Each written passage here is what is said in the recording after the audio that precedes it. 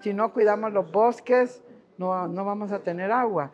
Si no eh, exigimos el agua como un derecho humano de todas las personas en el mundo, que ya está declarado por Naciones Unidas, prácticamente estamos violentando los derechos de las personas.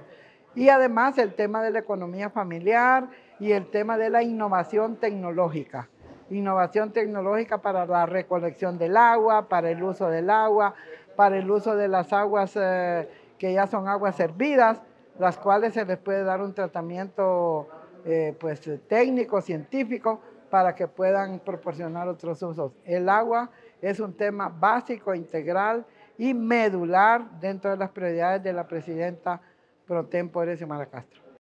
Bueno, sí, estoy muy impresionada porque he entendido bien de que el ICA ha prácticamente modificado su enfoque y lo ha orientado hacia lo que es el desarrollo sostenible, la participación comunitaria, el tema de las alianzas, y el tema de otros recursos naturales. Entonces ellos tienen un papel fundamental porque ellos son los investigadores, ellos son los que ven cuáles son las buenas prácticas, cuáles no son tan buenas prácticas, cómo impulsar, por ejemplo, sistemas tecnológicos sencillos que no requieran tantos recursos, puesto que nuestras comunidades del área rural son comunidades que carecen de, de muchas eh, necesidades, ¿verdad? Por ejemplo, el tema de incluso la infraestructura, incluso las tierras que no son de muy buena calidad.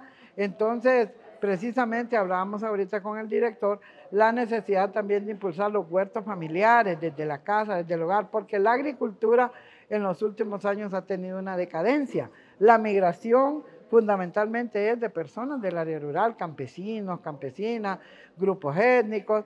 Entonces es importante que ellos vuelvan otra vez a la tierra, produzcan la tierra porque su, tarea es básica y fundamental para el mundo, que es la alimentación. La alimentación es otra de las necesidades básicas. Entonces, si todos los agricultores se van migrando, ¿qué es lo que vamos a comer nosotros? Solo cuestiones enlatadas o, o alimentos que realmente no son muy buenos para la salud.